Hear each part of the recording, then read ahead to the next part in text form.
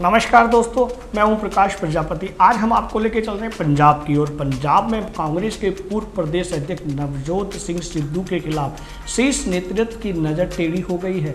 सिद्धू लंबे समय से पार्टी विरोधी बयान देने में जुटे हुए हैं, मगर अब पार्टी नेतृत्व की ओर से उनके खिलाफ कार्रवाई तय मानी जा रही है। पंजाब में विधानसभा चुनाव के दौरान उनके उल्टे सीधे बयानों के कारण पार्टी को भारी नुकसान उठाना पड़ा था।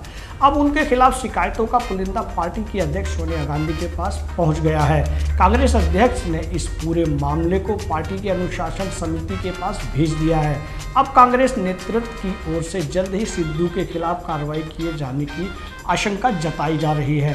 सिद्धू के प्रदेश अध्यक्ष रहने के दौरान पार्टी को विधानसभा चुनाव में करारा झटका लगा था और सिद्धू खुद भी अपने सियासी जीवन की पहली हार झेलने के लिए मजबूर हो गए थे।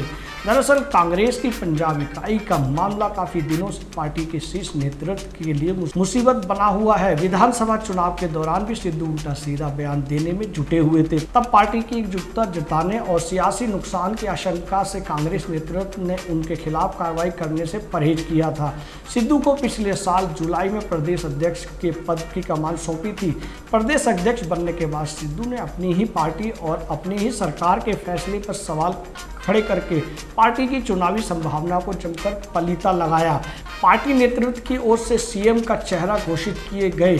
चरणजीत सिंह चन्नी को लेकर भी अपनी सभाओं में सवाल खड़े किए। पार्टी की करारी हार के बाद हालाँकि शीर्ष नेतृत्व के निर्देश पर उन्होंने अध्यक्ष पद ज़रूर छोड़ दिया था, मगर वे अभी भी पार्टी की नीतियों को लेकर सवाल खड़े करने में जुटे हुए हैं।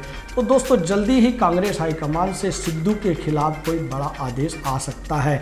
हमें आपके कमेंट्स का भी इंतज़ार रहेगा। हमें अवश्य कमेंट्स करें। तब तक के लिए नमस्कार।